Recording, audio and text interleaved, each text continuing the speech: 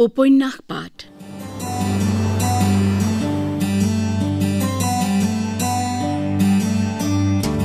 অনুষ্ঠানটিত প্ৰচাৰ হৈ আছে ফণীন্দ্ৰ কুমাৰ দেৱচৌধুৰীৰ উপন্যাস অনুৰাধাৰ দেশ।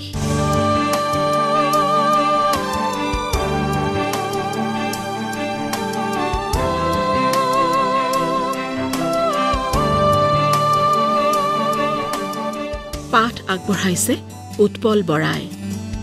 প্ৰযোজনা ঋতুপৰ্ণ দাসৰ।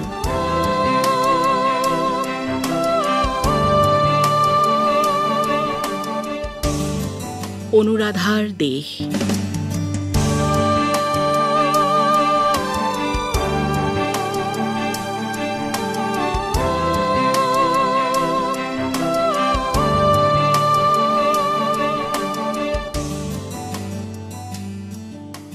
আকাশলৈ মূৰ তুলি চালে অৰুণাভে। নক্ষত্ৰবিহীন অন্ধকাৰ আকাশ। পৃথিৱীৰ ক'ৰবাত কিবা যেন বিপদ নামিছে।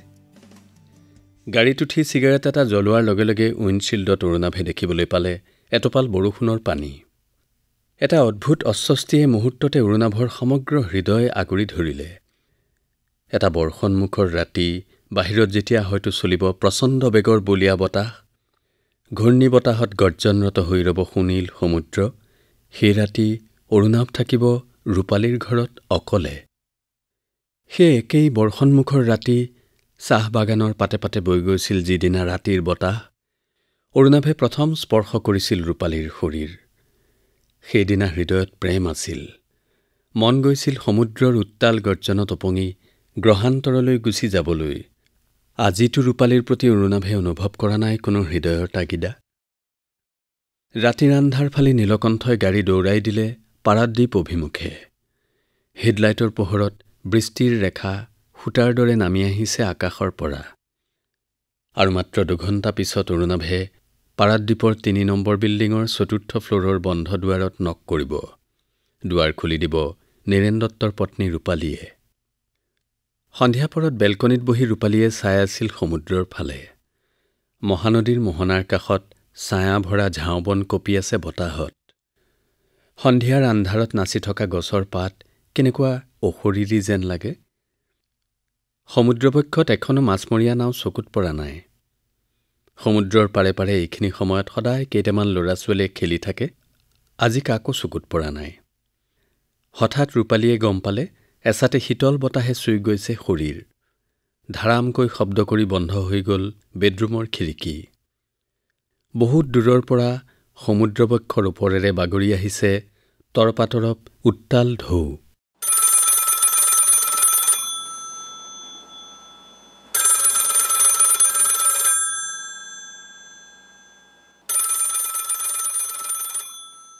ফোনটো বাজি উঠিল ক্ৰিং ক্ৰিংকৈ। হেল্ল' দত্ত চাহাবৰ বাংলো নেকি? হয়। মই অফিচৰ ৰেডিঅ' ৰুমৰ পৰা কৈছোঁ। দত্ত চাহাব আজি ৰিগত থাকিব। চাইক্লনৰ ৱাৰ্ণিঙৰ বাবে জাহাজ আহিব নোৱাৰিব। দত্ত চাহাবলৈ কিবা খবৰ পঠিয়াব লাগিব নেকি? ফোনটো হাতত লৈ কেইটামান মুহূৰ্তৰ বাবে ৰূপালীয়ে কিবা এটা ভাবিলে। তাৰপিছত ক'লে নালাগে। ফোনটো ক্ৰেডেলত থৈ ৰূপালীয়ে বেলকনিৰ দুৱাৰখন বন্ধ কৰিলে। বাহিৰৰ পৰা ভাহি আহিছে বতাহৰ সোঁ সোঁ শব্দ। ঠিক শুনিবলৈ পালে ৰূপালীয়ে বতাহত ভাহি আহিছে কোনোবা কেঁচুৱাৰ কান্দোনৰ শব্দ। বেডৰুমত সোমাই গাৰুত মুখ গুজি ৰূপালী শুই পৰিল। তাই গম পালে সেই কেঁচুৱাৰ কান্দোন নিজৰ হৃদয়ৰ গভীৰৰ পৰা ধীৰে ধীৰে ওলাই আহি শোৱনি কোঠাৰ শূন্যতাৰ লগত মিলি যাব লাগিছে।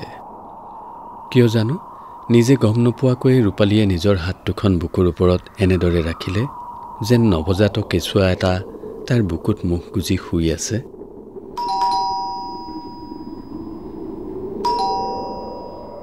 কলিং বেলৰ শব্দত ৰূপালী সচকিত হৈ উঠিল। ঘৰ এতিয়াও অন্ধকাৰময়।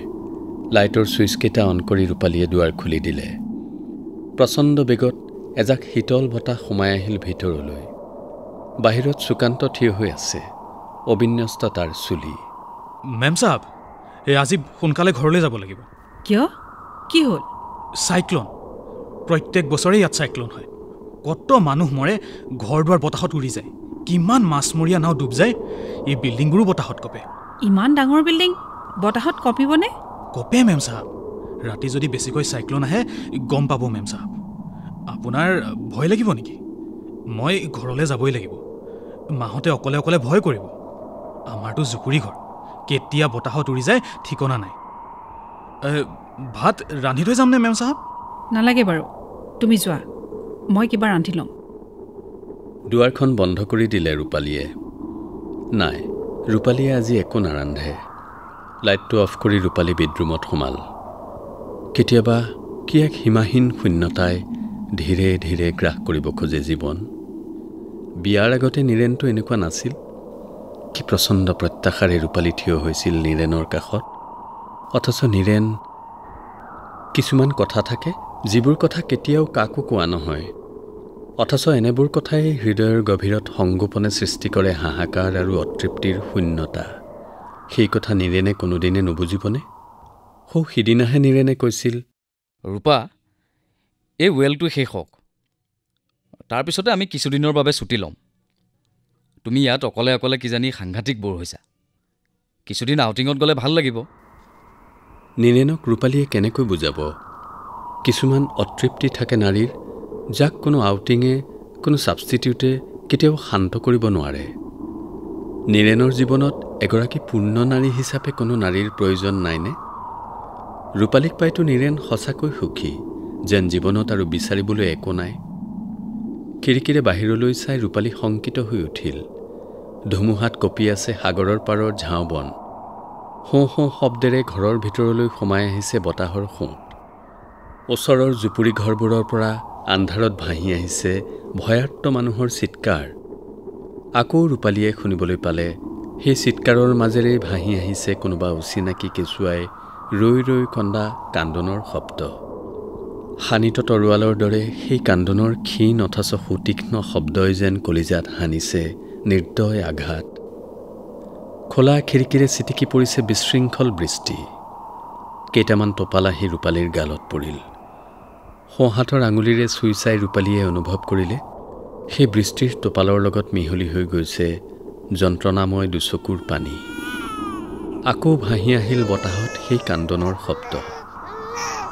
দেহৰ সমগ্ৰ শক্তিৰে খিৰিকীখন বন্ধ কৰাৰ চেষ্টা কৰিলে ৰূপালীয়ে। বতাহৰ হেঁচাই বাৰে বাৰে খিৰিকীৰ পাত ওফৰাই দিব খোজে। ৰাস্তাৰ কোনোবা বৈদ্যুতিক তাঁৰত বিজুলীৰ চমক। লাইটবোৰ নুমাই যাব নেকি? বতাহ আৰু বৰষুণৰ মাজতে দৃষ্টিগোচৰ হৈছে অদূৰত কোনোবা গাড়ীৰ হেডলাইটৰ অস্বচ্ছ আলোক। কিমান ৰাতি হ'ল এতিয়া?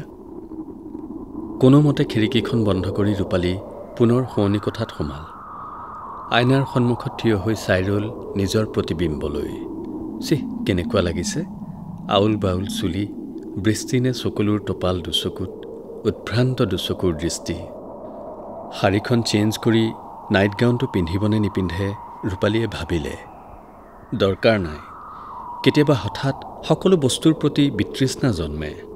আইনাখন ভাঙি টুকুৰা টুকুৰি কৰি পেলাবৰ মন গ'ল ৰূপালীৰ। ৰূপালীয়ে পৰ্দা ফাঁক কৰি খিৰিকীৰে বাহিৰলৈ চালে। আন্ধাৰত একোকে দেখা নাপায়। মাজে মাজে বিদ্যুতৰ চমকত ক্ষণিকৰ বাবে দৃশ্যমান হৈছে উত্তাল সমুদ্ৰৰ তাণ্ডৱ লীলা প্ৰকৃতিৰ ভয়াৱহ বিচিত্ৰ ৰূপ। খিৰিকী খুলি তিনিতলাৰ পৰা যদি ৰূপালীয়ে এতিয়া জাপ মাৰি দিয়ে কি হ'ব? কোনে গম পাব? কাইলৈ পুৱালৈ পৃথিৱীৰ কোনেও চাগে নাজানিব ৰূপালী দত্ত নামৰ কোনোবা মহিলা এগৰাকীয়ে কি কাৰণত জানো তিনি মহলাৰ পৰা জাপ দি আঁকোৱালি লৈছে ভয়ংকৰ মৃত্যু। খিৰিকীৰ খিলিটোত হাত দিলে ৰূপালীয়ে। মৃত্যুৰ প্ৰলোভন কেতিয়াবা কি দুৰ্নিবাৰ? আকৌ ভাহি আহিল সেই কান্দনৰ শব্দ। ৰূপালীয়ে খুলি দিলে খিৰিকীৰ খিলি।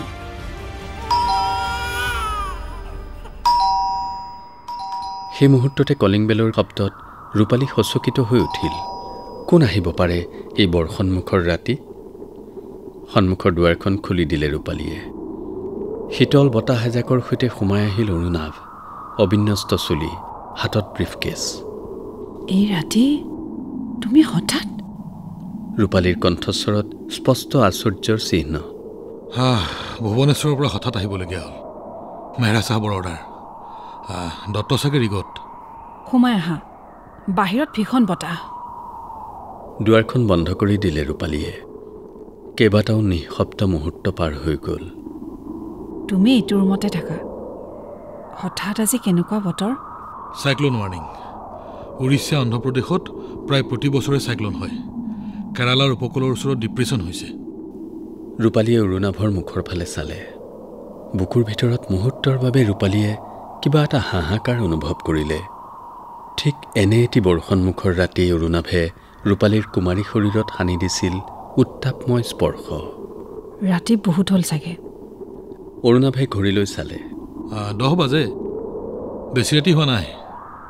ধুমুহা বৰষুণৰ কাৰণে বেছি ৰাতি যেন লাগিছে। চাহ কৰিম? নালাগে। কাষৰ কোঠাত সোমাই অৰুণাভে সাজ সলাই ভাবিলে শুব। বাহিৰত এতিয়া ধাৰাসাৰ বৃষ্টি। কোনোবা এখন খিৰিকী খোলা আছে চাগে। বতাহৰ সোঁ সোঁ শব্দই গোটেই ঘৰটো ভৰাই পেলাইছে। ৰূপালী নিজৰ বেডৰুমত সোমাবলৈ গৈছিল মাত্ৰ। আকাশত মুহূৰ্তৰ বাবে বিদ্যুতৰ চমক। সমগ্ৰ পৃথিৱী অন্ধকাৰ কৰি হঠাৎ বিজুলী বাতিবোৰ নুমাই গ'ল। ৰাস্তাত জ্বলি থকা বিদ্যুতৰ তাঁৰ হয়তো বতাহত ছিগি গ'ল।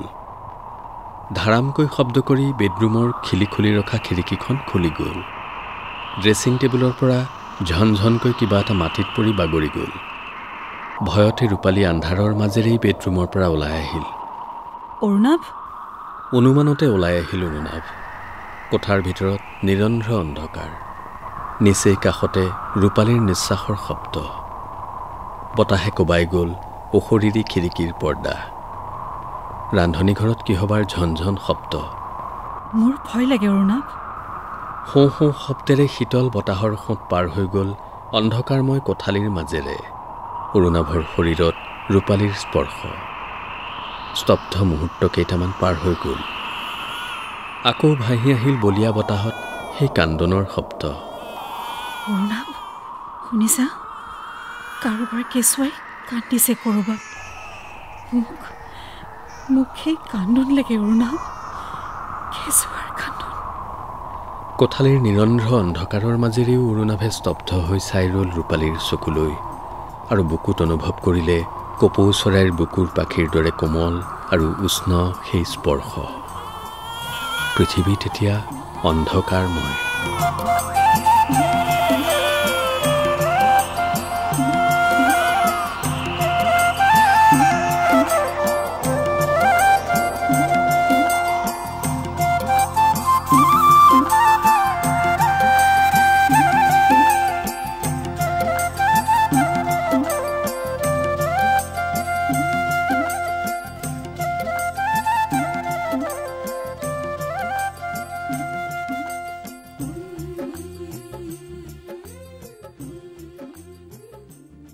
দেৰিকৰ পৰা ভাহি অহা ঘৰ ঘৰ শব্দত অৰুণাভৰ শেষ ৰাতি টোপনি ভাগিল। চিনাকি শব্দৰ পৰাই অৰুণাভে গম পালে এতিয়া ৰানিং ইন চলি আছে মানে এটাৰ পাছত এটাকৈ পাইপ তললৈ সুমুৱাই দিয়া হৈছে। বাহিৰলৈ ওলাই আহিল অৰুণাভ। বিশ্বৰ কি এক অপৰূপ অজাগতিক মুক্ত প্ৰকাশে সেই সময়ত বাহিৰত অৰুণাভৰ বাবে অপেক্ষা কৰি আছিল। সেই কথা অৰুণাভে কল্পনা কৰা নাছিল। স্তব্ধ হৈ অৰুণাভে চাই ৰ'ল প্ৰভাতী আলোকৰ ৰঙীন আভাৰে জাতিষ্কাৰ হৈ উঠা শেষ প্ৰহৰৰ পৃথিৱীলৈ। দূৰ দিগন্তজুৰি মায়াময় সমুদ্ৰ কি অদ্ভুত স্থবিৰ। ধীৰ গতিৰে সাগৰৰ বুকু চুই ওপৰলৈ উঠি আহিছে শীতলতাৰে ভৰা পবিত্ৰ বতাহ। অসীমৰ সমুদ্ৰৰ গৰ্ভৰ পৰা ধীৰে ধীৰে উঠি অহা সূৰ্যৰ বৰ্ণময় আভাই সাগৰৰ দলিচাত সানি দিছে অলৌকিকতাৰ মায়াময় আৱৰণ। অৰুণাভে হঠাৎ অনুভৱ কৰিলে ঠিক এনেকুৱা মুহূৰ্ততে ভাৱ হয় পৃথিৱীত আৰু কোনো দুখ নাই। মনৰ ভিতৰত কোনো হাহাকাৰ হু হু শূন্যতা নাই। এজনী ছোৱালীয়ে আনি দিয়া দুখ এই পবিত্ৰ মুহূৰ্তত ভাৱ হয় কিমান তুচ্ছ। অৰুণাভৰ মনত নপৰিল ৰূপালীৰ কথা অনুৰাধাৰ কথা অথবা অৰুণিমা বাইদেউৰ কথা। যাৰ ওচৰলৈ বহুদিন উদাসী মুহূৰ্ততেই অৰুণাভ আগবাঢ়ি গৈছিল পবিত্ৰ আকাংক্ষাৰে। সেই কথা অৰুণিমা বাইদেৱে কোনোদিন নুবুজিলে। মুখত টুথব্ৰাছ লৈ চিৰিৰে ওপৰলৈ উঠি আহিল Dennis. Good morning Arunabh. Good morning এই খাদত কিবা এটা পোৱাৰ সম্ভাৱনা আছে। ৰিপৰ্টত হাইড্ৰকাৰ্বনৰ ট্ৰেছ পোৱা গৈছে। ৰাতিপুৱাৰ ৰ'দ পৰি চিৰতাৰুণ্যৰে ভৰা মুখ উদ্ভাসিত হৈ উঠিছে। এইকেইদিন অৰুণাভে লক্ষ্য কৰিছে ডেনিছ বেছ উৎফুল্ল হৈ আছে। সন্ধিয়াৰ আন্ধাৰত হেলিপেডৰ ওপৰত বহি থকা নিঃসংগ ডেনিছৰ সৈতে বৰ্তমানৰ ডেনিছৰ কি আকাশ পাতাল প্ৰভেদ? কোনো কোনো মানুহক স্নেহ মমতা আৰু প্ৰেমৰ স্পৰ্শই কেনেকৈ এজন নতুন মানুহলৈ ৰূপান্তৰিত কৰে? অন্ধকাৰ পৃথিৱী সূৰ্যৰ কিৰণে উদ্ভাসিত কৰাৰ দৰে প্ৰেমময় স্পৰ্শই কেতিয়াবা মানুহৰ দুখ আৰু বিষাদৰ স্মৃতি হৃদয়ৰ পৰা মচি হৃদয় আলোকিত কৰে। আশাভৰা ভৱিষ্যতৰ মধুৰ স্বপ্নেৰে। হেলিপেডত মনে মনে বহি থকা ডেনিছক দেখি এদিন অৰুণাভে ভাবিছিল সুধিব এদিন তাক তাৰ অতীতত কি বিষাদৰ ছাঁ আছে? এতিয়াৰ ডেনিছক দেখি অৰুণাভে ভাবিলে সেই কথা তাক সোধাৰ আৰু কোনোদিনে প্ৰয়োজন নহ'ব। তাৰ হৃদয়ত এতিয়া নাৰীৰ ভালপোৱাৰ সুৰে ঝংকাৰ তুলিছে। ডেনিছে ক'লে এইবাৰ অফত আমি কাশ্মীৰলৈ যাম বুলি ভাবিছোঁ। শুনিছোঁ কাশ্মীৰ পূবৰ ছুইজাৰলেণ্ড। অৰুণাভে সুধিলে আমি মানে? ডেনিছে হাঁহি মাৰি ক'লে of course Dalvi. She is a nice lady Arunabh মই তোমাক এটা সম্পূৰ্ণ ব্যক্তিগত কথা সুধিব পাৰোঁনে? কেইটামান মুহূৰ্ত অৰুণাভে ডেনিছৰ মুখলৈ চাই ৰ'ল। টুথব্ৰাছডাল ডেনিছে দাঁতেৰে কামুৰি ধৰি আছে। অৰুণাভে ক'লে হুম, নিশ্চয়। সেই যে ছোৱালীজনী চিমলিপালত লগ পাইছিলোঁ বেছ ভাল ছোৱালী। তুমি তাইক বিয়া নকৰা কিয়? এক মুহূৰ্ত মনে মনে থাকি অৰুণাভে হো হোৱাই হাঁহি দিলে যেন ডেনিছে সৰু ল'ৰাৰ নিচিনাকৈ কিবা এটা হাস্যকৰ কথাহে কৈছে। আমি ভাল বন্ধু কিন্তু তেনেকুৱা ধৰণৰ কথাবোৰ কেতিয়াও ভবাৰ প্ৰয়োজন বোধ কৰা নাই। বিয়াৰ পাছতো তোমালোক ভাল বন্ধু হৈ থাকিব পাৰিবা।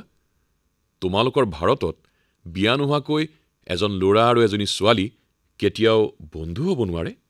ষ্ট্ৰেঞ্জ বিয়া নোহোৱাকৈ বন্ধু হ'বলৈ গ'লে তোমালোকৰ ইয়াত দেখিছোঁ শৰীৰ নামৰ এক বাধাৰ সৃষ্টি হয়। এজন ল'ৰাই শৰীৰৰ কথা চিন্তা নকৰাকৈয়ে যে এজনী ছোৱালীৰ বন্ধু হোৱাৰ কথা ভাবিব পাৰে সেই কথা ভাৰতীয় নাৰীয়ে এতিয়াও বিশ্বাস কৰিবলৈ টান পায়। ডেনিছ তুমি দেখিছোঁ এইকেইদিনতে ভাৰতীয় নাৰীৰ সুন্দৰ বিশ্লেষণ আৰম্ভ কৰিছা? অৰুণাভ মই মোৰ অভিজ্ঞতাৰ কথা কৈছোঁ। ডালভিৰ সৈতে মোৰ একেই সমস্যা হৈছিল। ডালভিৰ মই ওচৰ চাপিব খুজিছিলোঁ এজন বন্ধু হিচাপে এজন চিম্পেথাইজাৰ হিচাপে। ডালভিয়ে প্ৰথমতে ভাবিলে মই কিবা এটা সুযোগৰ সন্ধানত ইমান ওচৰ চাপি গৈছোঁ। অফক'ৰ্ছ ডালভিয়ে পিছলৈ বুজি পালে। প্ৰকৃত বন্ধুত্বৰ ওচৰত শৰীৰ তুচ্ছ হৈ পৰে। শৰীৰত আচলতে কি আছে? একো নাই। যিজনে হৃদয়ৰ স্পৰ্শ পোৱা নাই তেনেকুৱা মানুহেহে শৰীৰৰ বাবে হাহাকাৰ কৰে। ডেনিছৰ দৰে আপাতদৃষ্টিতে অনুভূতিহীন মানুহ এজনে যে হৃদয়ৰ জয়গান গায় এনেকুৱা কথা ইমান গভীৰ অনুভৱেৰে ক'ব পাৰে? সেই কথা অৰুণাভে কোনোদিনেই ভবা নাছিল। মানুহৰ চৰিত্ৰ কি বিচিত্ৰ? সদায় দেখি থকা চিনাকি মানুহৰ ভিতৰতে কেনেকৈ কেতিয়াবা অন্তৰংগ মুহূৰ্তত আৱিষ্কৃত হয় সম্পূৰ্ণ বিপৰীত এজন অচিনাকি মানুহ।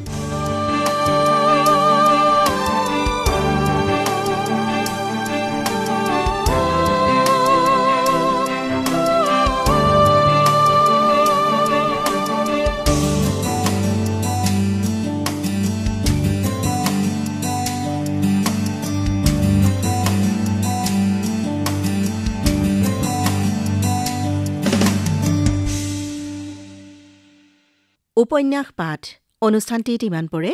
ফণীন্দ্ৰ কুমাৰ দেৱচৌধুৰীৰ উপন্যাস। অনুৰাধাৰ দেশৰ ধাৰাবাহিক পাঠৰ পঞ্চবিংশ খণ্ডটি শুনিলে।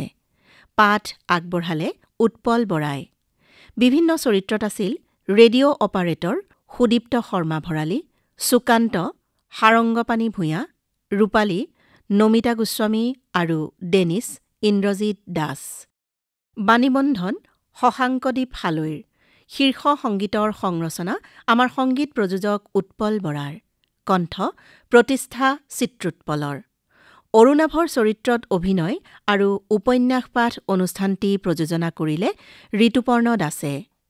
অনুৰাধাৰ দেশ উপন্যাসখনিৰ ধাৰাবাহিক পাঠৰ পৰৱৰ্তী খণ্ডটি শুনিবলৈ পাব অহা সপ্তাহৰ এই একেটা বাৰৰ এই একে সময়তে।